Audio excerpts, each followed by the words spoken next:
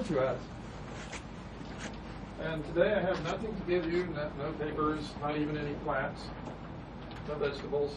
Uh, But I do have, uh, thanks for making the decision on Project Excel that matched all the research that various people had done. For whatever reasons you made the decision, thank you for doing that.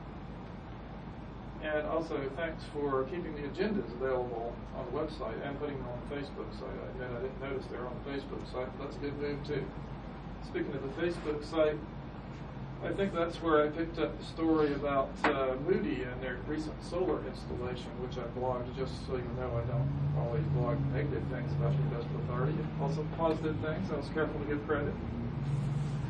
And I really liked what I heard today about uh, trying to determine what the desirable industries are and for a sustainable economy that matches local labor. Yes, I think that's what we all want. Um, I, I was a little disturbed about it's been massaged for three years and let's go for it until I realized we were talking about the RFP, not the final result.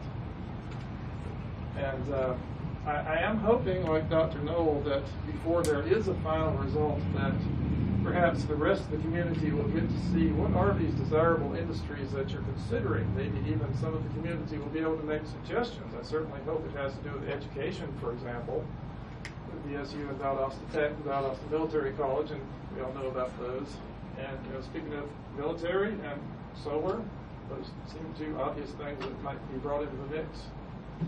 And for all I know, you've already got all these on your list, but that's kind of the point. Nobody knows. And people in the community would like to know, might like to help. The community can help you. I think that's kind of my main theme.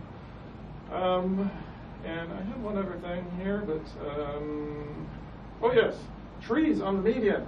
Yes, great idea. Can you convince the county to do that? Thank you. Thank you, Mr. Quarterman. Any other citizens who would like to be heard?